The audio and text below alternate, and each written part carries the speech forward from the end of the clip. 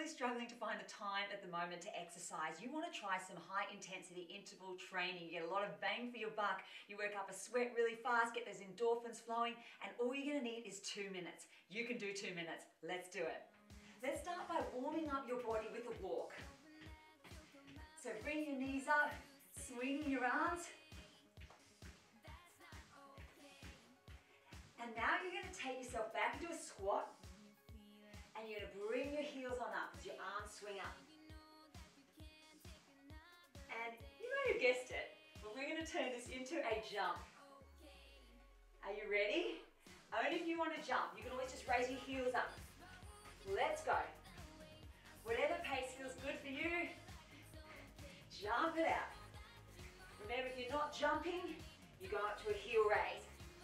When you jump, soft landings through your. Push your hips on back. Scoot your tailbone under to come up. Whew.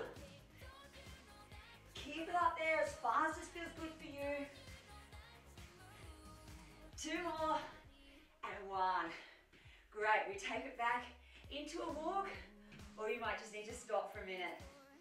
This is where you get your breath back. If you feel really fit and just want to keep going, you can turn this into a jog. Quick jog on the spot, or you're walking it out. Getting your breath back.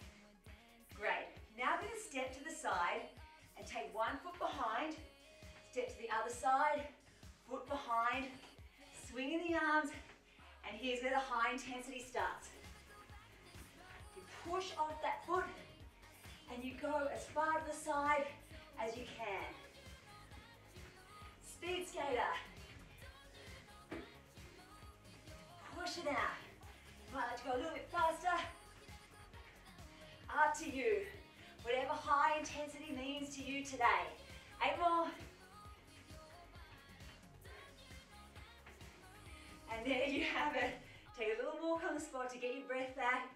Bring your arms on up. And breathe on down. Hope that's put a smile on your face. Got your blood and oxygen flowing. Hope to see you for another two minute move soon. Bye bye.